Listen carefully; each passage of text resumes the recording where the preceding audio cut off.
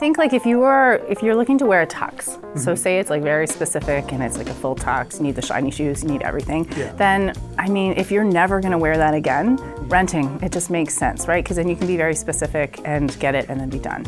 But I mean, I feel like suits like they're so flexible these days to wear either for work or for casual or break them apart.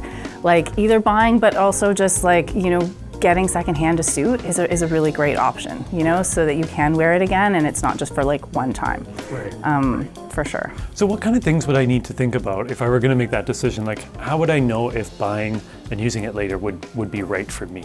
Um, I think it depends on your lifestyle. Yeah. like, depending on what you do, like if you wear a uniform for your job Yeah. 100% of the time, then, you know, you're not going to be able to throw it into like your business casual look, like to wear like the suit jacket potentially or wear the dress pants with like a casual shirt. Yeah. So it depends on your lifestyle and it depends on like what you do for a living and whether you're going to wear it again and the mileage you might get. So, you know, if you're going to spend full price then and you're going to wear it a ton, maybe it's worth it. But if it's, you know, you're trying to be more budget and you want something high quality but you want to pay less, then consignment is a perfect option for that.